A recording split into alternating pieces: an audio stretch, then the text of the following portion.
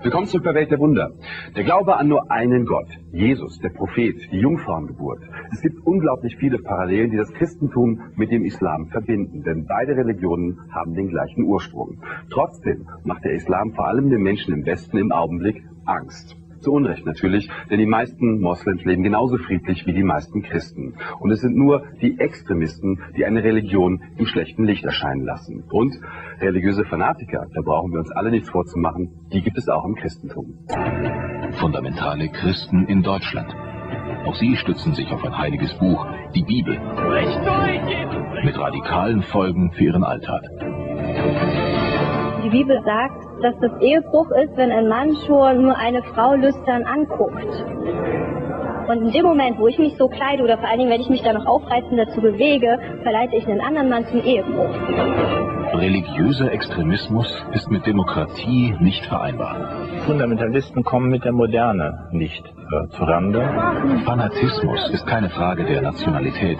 Keine der Völkermord kommt in den ersten Büchern der Bibel vor, wo es darum geht, dem erwählten Volk das gelobte Land Kanaan freizumachen. Im Neuen Testament kommt der Genozid vor, im letzten Buch der Bibel, wo dann äh, der Engel im Blut wartet und Gegner Gottes abgeschlachtet werden. Die Botschaft der Bibel ist zum Teil nicht mehr zeitgemäß. Dennoch gibt es fanatische Christen, die das Buch nach wie vor wörtlich nehmen und als wahrhaftiges Wort Gottes betrachten. Bricht durch! Jesus bricht durch! Jesus bricht durch! Bricht durch! Bricht Wir brauchen diese Salbung! Wir brauchen diese Salbung! Berlin im Sommer 2003. Am Brandenburger Tor haben sich über 10.000 Jugendliche versammelt zu einer ekstatischen Massenandacht. Die christliche Erweckungsbewegung namens The Call, der Ruf, hat dazu aufgerufen. Die sogenannten Evangelikalen haben ihren Ursprung in den USA, wo die Gruppe unter dem Namen The Cause an Macht und Zuwachs gewinnt. Sie bekämpfen Homosexualität und Abtreibung und wenden sich vor allem an junge Leute. Ihr Führer, Lou Engel, vergleicht seine Mission mit der Hitlers.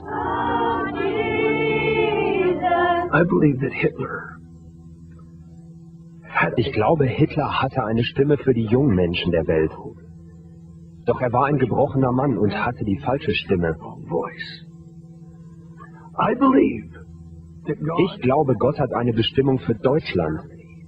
Die Bestimmung ist, die Jugend der Welt zu sammeln und sie zu Jesus Christus zu führen.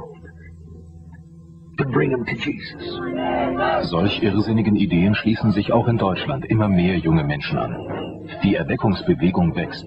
Die fundamentalen Christen nehmen es mit den Lebensanleitungen in der Bibel sehr genau. Anleitungen, die mehr als 2500 Jahre alt sind. Mit einem streng geregelten Lebenswandel grenzen sich die Fundamentalisten ganz bewusst ab, auch von anderen Christen. Die Gruppe will sich nicht nur abgrenzen, sie will auch mehr Macht.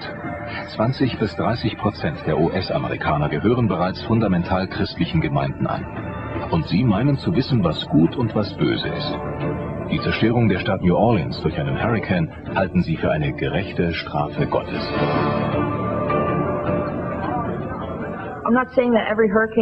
Ich behaupte nicht, jeder Hurricane sei eine Strafe Gottes. Was ich aber vom ganzen Herzen sagen kann, dass in New Orleans viele Dinge passieren, über die Gott nicht erfreut ist.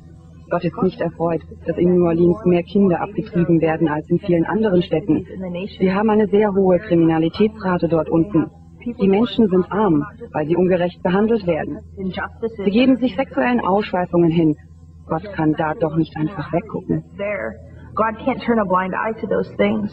Diese Fundamentalisten kommen mit der Moderne nicht äh, zurande.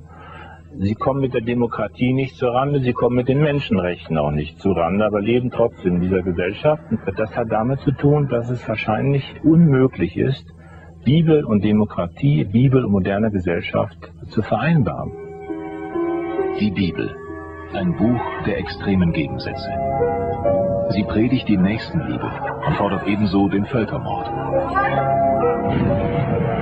Fundamentalisten gibt es in fast allen Religionen der Welt. Nicht auszudenken, wenn radikale Christen die Bibel einmal in allen Passagen wortwörtlich nehmen würden. Die zu Gott für ein geistiges Erwachen,